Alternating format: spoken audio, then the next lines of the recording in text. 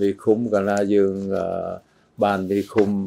ល្អទៅគឺភូមិឃុំហ្នឹងគឺមានការអភិវឌ្ឍហើយប្រជាពលរដ្ឋហ្នឹងក៏អាចរស់នៅប្រកបរបរជីវភាពរបស់ខ្លួននោះក៏បានបានស្រួលសុខសប្បាយផងដែរបើសិនជាមេឃុំនោះគិតជាមេឃុំដែលបំរើប្រជាពលរដ្ឋ សូមជម្រាបសួរប្រិយមិត្តរបស់ VOA ទាំងអស់ដែលកំពុងតាមដានកម្មវិធីបទសម្ភាសមេដឹកនាំគណៈបកដែលបានចូលរួមធ្វើការបោះឆ្នោតនៅក្នុងក្រុមប្រឹក្សាគុំសង្កាត់អាណត្តិទី5នេះនៅពេលនេះនាងខ្ញុំធីតានិងអ្នកនាងខាន់សុគមនោបានជួបសម្ភាសជាមួយលោកញឹកប៊ុនឆៃប្រធានគណៈបកផ្នែករួបរวมជាតិ នាងខ្ញុំសូមជម្រាបសួរលោកបាទសូមជម្រាបសួរតើលោកគិតថាគណៈបកផ្នែករូបរងជាតិនឹងទទួលបានជោគជ័យនៅក្នុងការបោះឆ្នោតឃុំសង្កាត់អាណត្តិនេះដល់កម្រិតណាដែរទៅចា៎បាទសូមជម្រាបជូនថាគណៈបកផ្នែករូបរងជាតិរបស់យើងខ្ញុំនេះគឺអឺការបោះឆ្នោតក្រុមប្រឹក្សាឃុំសង្កាត់នេះជាលើកទី2ជាលើកទី2របស់យើងខ្ញុំហើយការលើកទី1គឺអឺ យើងខ្ញុំបានបោះឆ្នោតនៅឆ្នាំ2017ហ្នឹងដែលយើងខ្ញុំទទួលបានក្រុមប្រឹក្សាឃុំសង្កាត់ហ្នឹងទាំងអស់174នាក់បាទក្នុងនោះក៏មានមេឃុំម្នាក់មានជំទប់ទី1ហ្នឹង38នាក់ហើយមានជំទប់ទី2នេះដល់ទៅ92នាក់បាទអញ្ចឹងហើយការបោះឆ្នោតលើកទី2របស់គណៈបកខ្មែររួមជាតិខ្ញុំនេះគឺក្តីរំពឹងរបស់ខ្ញុំ គឺអាចនឹងកើនឡើងនៅអាសនៈដែលទទួលបាននឹងអាច1គុណនឹង2បាទ174នោះអាចនឹងគុណនឹង2តាមអ្វីដែលយើងខ្ញុំបានប្រឹងប្រែងបានធ្វើការងារវិជ្ជាការកន្លងមកនេះបាទមូលដ្ឋានណាខ្លះដែលលោកសង្ឃឹមថាគណៈបកផ្នែករួបរวมជាតិនឹងទទួលបានការគ្រប់គ្រងច្រើនពីប្រជាពលរដ្ឋដែរទៅចា៎បាទតាមអ្វីដែលខ្ញុំបានអឺ បោះឆ្នោតការលើកមុននោះក៏ដូចជាលើកនេះដែរគឺភាគច្រើនគឺនៅបណ្ដាខេត្តនៅខាងភូមិភាគភាគយប់នៃប្រទេសរបស់យើងដូចជានៅខាងបាត់ដំបងនៅខាងប្រទេសមេជ័យនៅខាងឧត្តរមេជ័យខាងសៀមរាបនេះគឺភាគច្រើនដែលយើងខ្ញុំមានក្តីសង្ឃឹមពីព្រោះសំបីតការរៀបចំបេក្ខភាពក្រមប្រឹក្សាគុំសង្កាត់ក៏យើងខ្ញុំបណ្ដាខេត្តទាំងប្រមាណ ខេត្តនឹងគឺថាមានការរៀបចំខេត្តខ្លះក៏បាន100%ខេត្តខ្លះក៏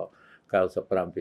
បាទចា៎ហេតុអ្វីបានជាបណ្ដាខេត្តនៅភូមិភាគពីជាប់ហ្នឹងជាចំណុចដែលមានការគ្រប់គ្រងច្រើនគណៈបកខ្មែររួបរวมជាតិហ្នឹងមានការគ្រប់គ្រងច្រើនពីប្រជាពលរដ្ឋចា៎ទី1គឺដោយសារបណ្ដាខេត្តទាំងប្រមាណហ្នឹងក៏ អឺបងប្អូនប្រជាពលរដ្ឋលោកស្គាល់ខ្ញុំព្រោះខ្ញុំមានស្រុកកំណើតនៅខេត្តប្រទេសវិជ័យខាងពីយប់នោះដែរហើយទី2ជាតំបន់មួយដែលអឺចំនួននៃការតស៊ូដែលចលនាតស៊ូត្រីភាគីដែលដឹកនាំដោយសម្ដេចព្រះនរោត្តមសីហនុនោះខ្លួនខ្ញុំផ្ទាល់ដែលជាមិត្តមួយរូបហើយធ្លាប់បានធ្វើប្រតិបត្តិការនៅតាមបណ្ដាខេត្ត ខាងពីយកនោះច្រើនអញ្ចឹងហើយបងប្អូនជាពលរដ្ឋនោះលោកស្គាល់ខ្ញុំហើយខ្ញុំក៏បានជួយដល់ប្រជាពលរដ្ឋនោះតាំងពីនៅតស៊ូរហូតដល់ពេលដែលខ្ញុំបានចូលមកក្នុងប្រទេសនេះបានចូលរួមក្នុងរាជរដ្ឋាភិបាលចម្រុះនេះក៏យើងខ្ញុំបានទៅកសាងសមិទ្ធផលនានាដើម្បីតបស្នងសង្គមប្រជាពលរដ្ឋនោះបានបានច្រើនដែរបើនិយាយទៅគឺសូម្បីតែ ជីកដូងក៏ជីកបានរពន្ធដែលជីកស្រះជីកអីធ្វើផ្លូវអីមួយចំនួនធ្វើសាលារៀនហើយវត្តអារាមអីឡានឹងឡាអញ្ចឹងគឺខាងហ្នឹងគឺមានស្គាល់ខ្ញុំច្រើនបាទតើលោកគិតថាការបោះឆ្នោតជ្រើសរើសក្រុមប្រឹក្សាឃុំសង្កាត់នោះមានសារៈសំខាន់យ៉ាងណាខ្លះដែរទៅលោកចា៎ការបោះឆ្នោតជ្រើសរើសក្រុមប្រឹក្សាឃុំសង្កាត់នេះគឺមានសារៈសំខាន់ណាស់ ព្រោះឃុំឃុំនោះមេឃុំចៅសង្កាត់ហើយទាំងអស់ហ្នឹងគឺអ្នកដែលនៅផ្ទាល់ជាមួយនឹងប្រជាពលរដ្ឋដូចជាការអភិវឌ្ឍនៅក្នុងភូមិនៅក្នុងឃុំអីក៏អាស្រ័យទៅលើមេឃុំហ្នឹង ដែលដែលនៅផ្ទាល់ជាមួយប្រជាពលរដ្ឋដែលដឹងបញ្ហាច្បាស់របស់ប្រជាពលរដ្ឋដែលអាចនឹងស្នើមកខាងថ្នាក់លើឬក៏រាជរដ្ឋាភិបាលនោះដើម្បីធ្វើការអភិវឌ្ឍភូមិឃុំនោះមេឃុំកាលណាយើងបានមេឃុំល្អទៅគឺភូមិឃុំនោះគឺមានការអភិវឌ្ឍហើយប្រជាពលរដ្ឋនោះក៏អាចរស់នៅប្រកបរបរជីវភាពរបស់ខ្លួននោះក៏បានបានស្រួលសុខសប្បាយផងដែរបើសិនជាមេឃុំនោះគិតជាមេឃុំដែលបំរើប្រជាពលរដ្ឋបាទបើមេឃុំអឺគាត់មានបញ្ហាពើពុកលយឬក៏គាត់ពាក់ព័ន្ធក្នុងការអឺរឹបអូតអីឆ្លីឬស្អីដល់នោះក៏សិតជាទុកលំបាករបស់ប្រជាពលរដ្ឋហើយនិយាយជារួមគឺការអភិវឌ្ឍក្តីការ ជីវភាពរស់នៅរបស់ប្រជាពលរដ្ឋក្តីបញ្ហាសន្តិសុខក្តីបញ្ហាដែលក្មេងទំនើងគ្រឿងញៀនអីណាក៏ពាក្យប៉ុនក្នុងឃុំទាំងអស់បាទហើយឃុំនោះក៏មានមានពួកខាងដែលប្រជាការពារជួយមើលដល់ប្រជាពលរដ្ឋអញ្ចឹងហើយបញ្ហាច្រើនណាស់ដែលពាក្យប៉ុនក្នុងឃុំបើសិនជាមានឃុំនៅល្អបំរើរាជអានឹងគឺរាជបានសុខហើយ តាមយោបល់របស់លោកដើម្បីជ្រើសរើសមេដឹកនាំនៅក្នុងភូមិឃុំរបស់ខ្លួននឹងឲ្យបានត្រឹមត្រូវតើប្រជាពលរដ្ឋនឹងត្រូវសម្លឹងមើលបេក្ខភាពមេឃុំឬចៅសង្កាត់នឹងលើចំណុចអ្វីខ្លះដែរទេចា៎បាទនេះគឺរត់មានសារៈសំខាន់ណាស់គឺយើងឃើញហើយថាឥឡូវកំពុងតែប្រកួតប្រជែងពីបេក្ខភាពដើម្បីអឺឲ្យប្រជាពលរដ្ឋលោកជ្រើសរើសចឹងហើយប្រជាពលរដ្ឋលោកមុខមុខតែមើលហើយសម្លឹងមើលថាតើលោកអាចនឹងជ្រើសរើសបេក្ខភាពណា នៅបកណានឹងគឺដើម្បីបានជាប់ជាមេឃុំទៅដែលអាចបំរើគាត់បាទបំរើគាត់នឹងគឺថាចឹងហើយក៏ត្រូវមើលទៅលើបុគ្គលិកលក្ខណៈនៅបេក្ខភាពនោះដែរតើបេក្ខភាពនោះយ៉ាងម៉េចប្រកាន់បកប្រកាន់ពួកឬក៏កាន់ធ្វើសម្បល់អីនេះទេឬក៏លោកជាប់ជាមេឃុំហើយគឺលោកបំរើប្រជារាស្ត្រដោយមិនប្រកាន់បកពួកបកពួកនេះយ៉ាងនិយាយថា អអ្វីផ្សេងផ្សេងទោះបីមានជំនួយក្តីទោះបីមានបញ្ហាដែលកើតមានឡើងគ្រោះមហន្តរាយក្តីគឺថាមេឃុំនោះលោកនឹងមិនប្រកាន់នយោគលដែលបពពួកនយោបាយអីទេគណៈបកនយោបាយទេបានតែថាអត់តែវិជារាជររងគ្រោះគឺមេឃុំនោះគាត់ជួយជួយទាំងអស់គ្នាទូទៅនោះគឺមានសារៈការនៅមួយទៀត គឺតចរិតរបស់បេក្ខភាពនៅមេឃុំនោះតើគាត់វាវាយ៉ាងម៉េចគាត់មានការចេះដឹងគាត់មានសច្ចធម៌មានយុទ្ធធម៌មានសិលធម៌អីសម្រាប់ដឹកនាំនៅក្នុងគុំនេះឲ្យជារាជលោកមានការជឿទុកចិត្តហើយកក់ក្រៅអីទេអញ្ចឹងគាត់មុខតែសម្លឹងមើលនៃគុំណាដែលបណ្ដើប្រជារាជដោយដោយមិនយកកម្រៃ ណាដោយយុទ្ធធរដោយមិនប្រកាន់បពួកបាទចា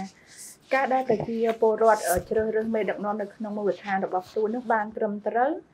តើផ្ដល់ផលប្រយោជន៍អ្វីខ្លះដល់ភូមិឃុំរបស់គាត់ដែរទេចាបាទអឺកាលណាគាត់រើសបេក្ខភាពនៃគាត់នៃ ស្រឡាញ់ហើយគ្រប់គ្រងបោះឆ្នោតឲ្យអ្នកនោះបានទៅជាមេឃុំទៅគាត់អឺមានផលប្រយោជន៍ច្រើនណាស់ផលប្រយោជន៍ទី1បើយើងនិយាយថាអឺមេឃុំនោះគាត់ស្អាតស្អំគាត់មិនពុកអលួយគឺជួយដល់ប្រជារាស្ត្រនឹងច្រើនណាស់ក្នុងការដែលធ្វើលិខិតស្នាមនានាធ្វើតញ្ញានក្បានដីធ្វើសម្បត្តិកំណើតក្តីធ្វើឯកសារផ្សេងផ្សេងការបញ្ជាក់អីដើម្បី ទុកខ្ចីលុយអីពីមីក្រូហិរញ្ញវត្ថុក្តីឬរៀបពីពីពីកូនក្តីលក្ខនឹងលក្ខនឹងគឺថាគឺប្រជាពលរដ្ឋគាត់នឹងទទួលបាននៅការបំរើនឹងដោយមិនអស់លុយអស់កាក់បាទបំរើនោះដោយមិនប្រកាន់បាក់ពួកក៏តាមខ្ញុំមើលទៅថាការបរិវត្តក៏មានការបង្កើនអឺសម្រាប់ឃុំនីមួយមួយនេះមានការកើនឡើងច្រើនដែរឥឡូវនេះអញ្ចឹង បើមានឃុំល្អហ្នឹងគាត់នឹងយកទៅប្រើប្រាស់ក្នុងការធ្វើអភិវឌ្ឍហ្នឹងឲ្យបានត្រឹមត្រូវមិនបាត់បង់មិនបាត់បង់ថវិកាទេក្នុងការអភិវឌ្ឍនោះទៀតគឺថាវាត្រូវទៅតាមសេចក្តីត្រូវការរបស់ប្រជាពលរដ្ឋដោយថាជួនកាលគាត់ត្រូវការទឹកអីត្រូវការជីកដូងអីចឹងគាត់ប្រជាពលរដ្ឋអាចនឹងនាំនេស្នើឲ្យមក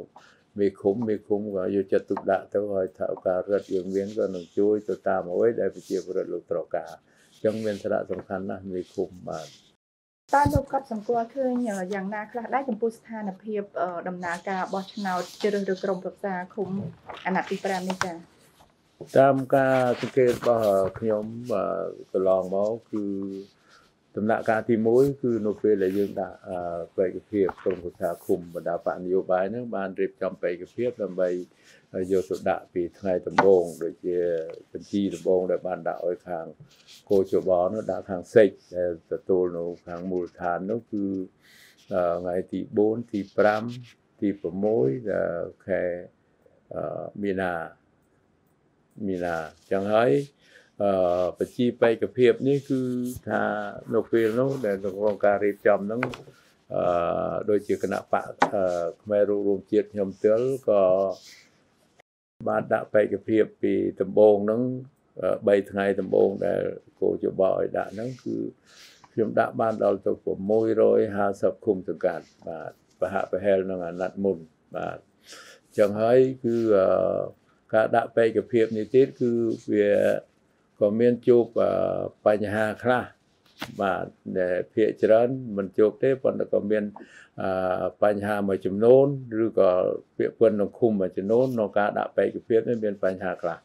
ចាជាចុងក្រោយនេះតើលោកមានពាក្យឬក៏សារអ្វីផ្ដាំផ្ញើទៅដល់ប្រជាពលរដ្ឋដែលកំពុងត្រៀមខ្លួនចូលរួមបោះឆ្នោតនៅថ្ងៃទី5ខែមិថុនាខាងមុខនេះចាបាទខ្ញុំសូម ព្រាមនាវក៏ដូចជាសូមជម្រាបជូនដល់បងប្អូនជនរួមជាតិទាំងអស់ជាពិសេសអ្នកដែលនៅមូលដ្ឋាននីមួយៗនោះគឺថាសូមមេត្តាជួយបោះឆ្នោតដោយគ្រប់គ្រងដល់បេក្ខភាពគណៈបកខ្មែររួមរួមជាតិរបស់យើងខ្ញុំដែល